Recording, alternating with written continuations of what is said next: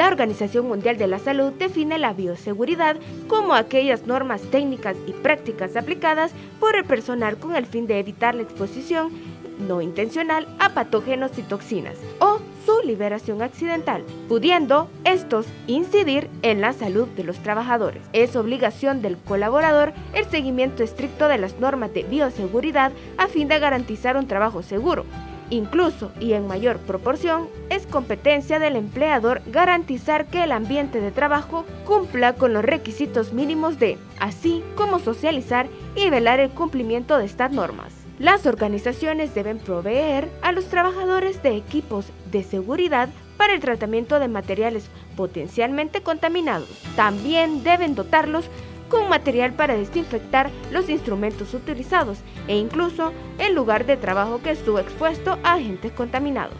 Para conocer más sobre el cuidado de bioseguridad que se debe practicar en tu área laboral, especialmente en esta época de coronavirus, quédate en sintonía de Salud TV.